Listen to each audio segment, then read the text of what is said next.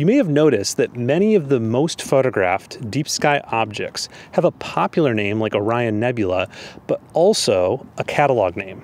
And in the case of Orion Nebula, that would be M42. But what is this M in the M42? Well, the M actually stands for Messier, and Messier is the astronomer who came up with this catalog and published it. In this video, I'm going to explain who Messier was, what his catalog is all about, and why this Messier catalog is still so popular today, hundreds of years later. Charles Messier was a French astronomer that lived in the 18th century in Paris, France. And he was obsessed with comets, so much so that I think it would be perfectly fair to call him a comet hunter as his sort of uh, occupation. Uh, he discovered 13 comets in his lifetime.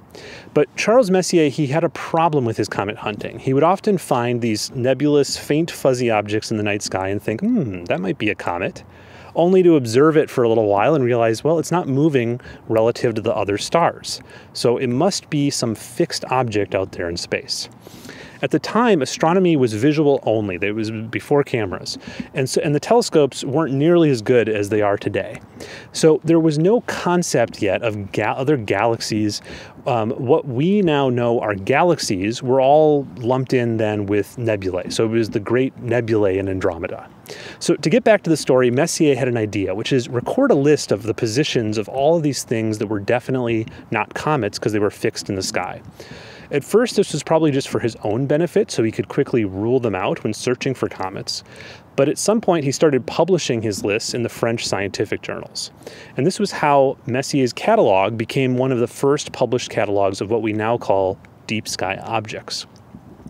And partly because it was one of the first, it has had an enduring legacy even when later there were you know efforts to make much more extensive catalogs of non-stellar objects like the new general catalog ngc even after that the messier catalog was still a go-to for the objects that are included in it and let's talk a bit now about what is included. First off, Messier only observed from Paris, France. So these are all objects you can see from the Northern Hemisphere, and some of them only from the Northern Hemisphere there are only 110 objects included.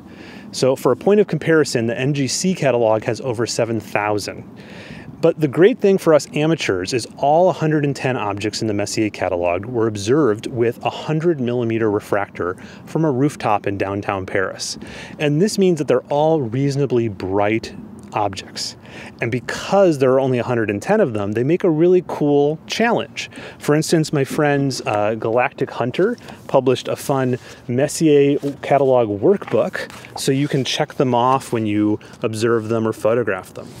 Many people also try to complete a Messier marathon, where in the spring you can actually try observing or photographing all 110 Messier objects in one night. Something I'd really like to try someday. Other than the compactness of the list of just 110 objects, I think another reason the Messier catalog still remains so popular is that many of the brightest showpiece objects in the northern sky are included in the Messier catalog for us astrophotographers. To name a few, the Lagoon Nebula M8, Hercules Cluster M13, the Trifid Nebula M20, the Dumbbell Nebula M27, the Andromeda Galaxy M31, the Triangulum Galaxy M33, the Orion Nebula M42, the Whirlpool Galaxy M51, the Ring Nebula M57, Bodes and Cigar Galaxies M81 and 82, and the Pinwheel Galaxy M101. And all those ones I just listed would be a great starting list for the beginner astrophotographer to take on.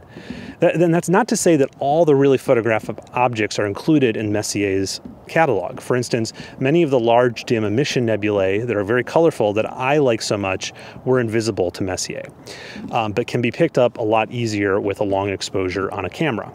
Well, as always, I could probably say more, but this is Five Minute Friday, so we're going to end it here.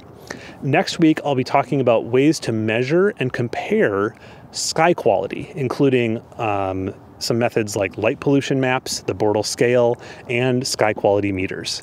Till next time, this has been Nico Carver from nebulaphotos.com. Clear skies.